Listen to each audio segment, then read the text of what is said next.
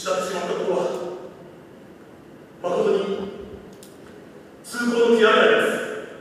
す省内、最上を中心とした7月の記録的大雨で、新庄市元愛会の現場に出動し、大雨でパトカーごと流されて行方不明となり、殉職した新庄署交通課の佐藤宗也。当時巡査部長、警部に2階級特進と、同署真室川駐在所勤務の玉谷良太。当時巡査長、警部補に2階級特進の警察層が17日、山形市のパレスグランデールで営まれました。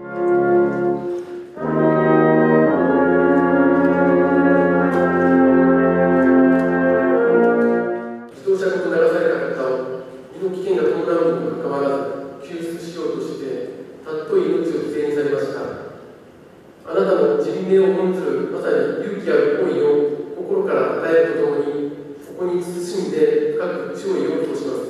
表彰状、感謝状等をご紹介させていただき追悼の辞で、鈴木邦夫、県警本部長は、県民の安全安心を守る。そうした警察官の使命が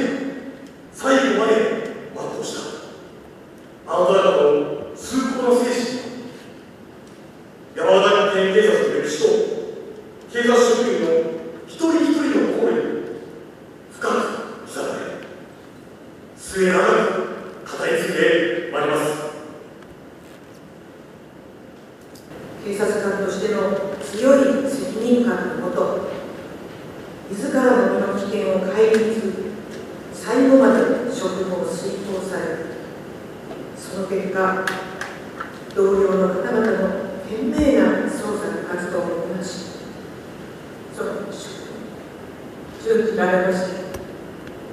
二人と、県警察学校、第76期、初任科課程の同期生である、長井亮さんは、弔辞の中で、突然の訃報で二度と会えないという事実を信じることができません。そうやとは初任科時代は同じ班だったこともあり多くの時間を共に過ごしました。交通事故に遭う人を少しでも減らしたいという意識で日々の交通取締りに汗を流していたと聞いていますたまには持ち前の厚さと優しさで周囲を和ませるムードメーカーでしたね事件が起きれば常に被害者を対して考え寄り添って話を聞いて事件解決に努めているそうですね。